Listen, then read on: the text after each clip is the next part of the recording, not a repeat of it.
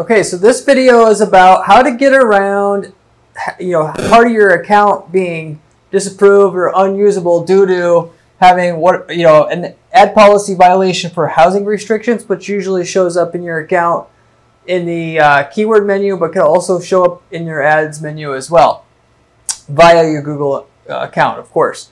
So anyway, um, what I wanted to cover in this video was there's a lot of false triggering of what gets your ads get disapproved on Google lately due to them using more of an automated system to tell who's where the policy violations are occurring, even though they do some manual checks as well, and how you can kind of get around that false uh, triggering issue if you are a fall victim to it. And so, of course, I have a small list of th things here that you should know about this violation if you have it or run into it, don't know what to do.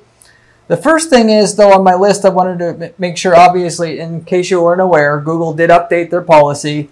You cannot restrict on gender and age when you're going to put up, you know, rental uh, ads, and uh, you know, in the in the real estate space, uh, specifically within that category.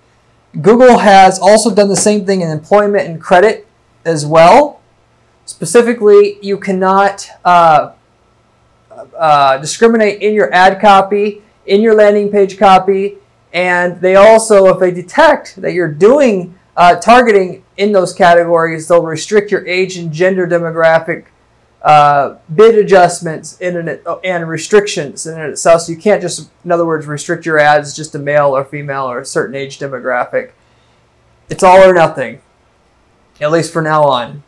Um, so obviously, you could have this issue if you actually discriminate. So you obviously just stay away from that, or you obviously can't do that, or go somewhere else if that's what your prerogative is to do that to find the right applicants.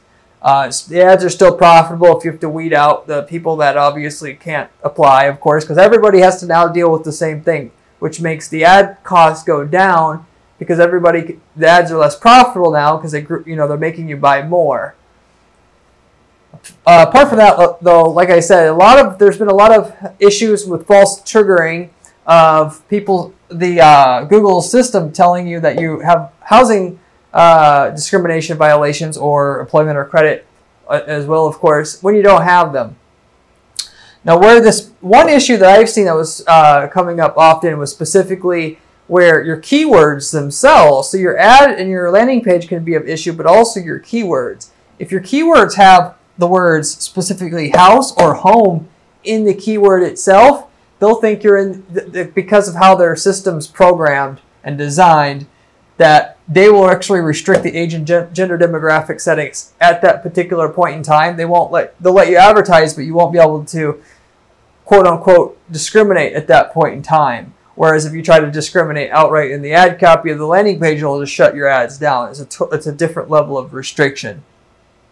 So you'll want to check your keywords if you, uh, you know, what I always recommend if you watch my other videos, and I do on every single campaign that I run, is I use my conversion data to see what age and gender demographics are converting above average and below average and set very specific bid adjustments to take advantage all the the opportunities in any given market via all those specific um, segments, you're going to get a much better return out of your ad spend that way and also have the capability to be in position to scale your account once it is profitable that way as well instead of just saying oh anything with this keyword i'll take it. If the keyword isn't so profitable then not. Because most of your keywords will work at a certain level of weeding out the certain other aspects of the traffic and audience um, type that are searching for those keywords. If you weed those out of your traffic stream you'll get uh, certain other keywords to work, which is a great way to get you know five to ten times more out of a market just by going and setting those fine tune adjustments on your bids on times of the day, day of the week, and so on and so forth. But you'll if you have this, basically, uh, if you do want to use your age, age and gender uh, targeting, you just have to. The only thing you can do, as far as I found, is just remove house and home, as well as anything to do with credit or employment. Then from your keywords or you're just stuck. You're not going to be able to use this Asian gender uh, demographic targeting settings in terms of bid adjustments. The process again is automated. Their system goes and checks for these keywords. They're also going to scan your landing page and your ad for certain things. And then, it, as far as them shutting down your ads completely, they'll flag uh, in an account if you have certain language having to do with these three niches in your ads or landing page so that somebody can actually check to see if you're discriminating. So you're not going to get around it necessarily through images or anything like that. You're going to get caught. Um, but uh, so this is something that you know I found, and all power to you if you find a way around the system. But it, I'm going to say that it's probably almost impossible at this point.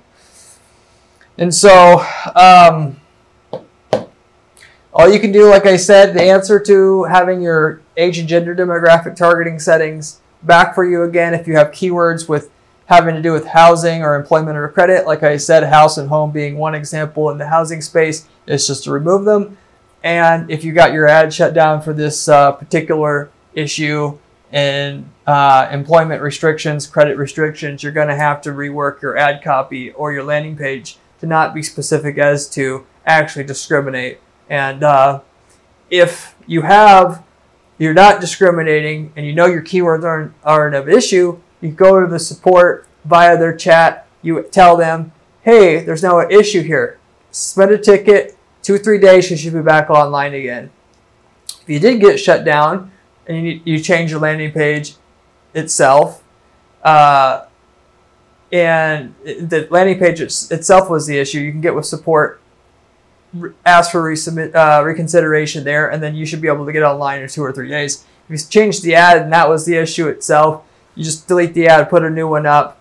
Things should get automatically approved from there uh, shortly after that you actually delete the offending ads. If it's not, again, you go to support. If it was a particularly egregious, you know, issue that where you were doing blatant discrimination in your ads, you may have to go to support as well. But for the most part, you just make the correction, you go to support. You're not going to get banned on Google permanently. They let, will let you back on as long as you go to them and actually correct the mistake.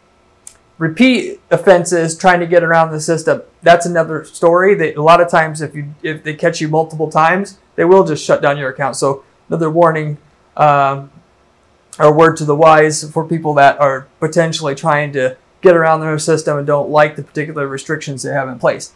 Anyway, that's uh, everything I can tell you about the housing restrictions and credit and employment restrictions Google has now with their Google Ads system. Uh, if you have any other uh, questions about this, you can reach out to my site and ask any questions. I can provide you a free audit on your particular situation and aren't getting what you want done with the advice I give you here. Gave you here. Um, you can also check out my other videos and my money making PPC strategies blog where you want to learn how to actually make money setting up PPC PPC ads for your business, how to actually go about doing it. It's the more detailed information there than you're going to find on any other blog on the net. And I hope you also subscribe to my channel.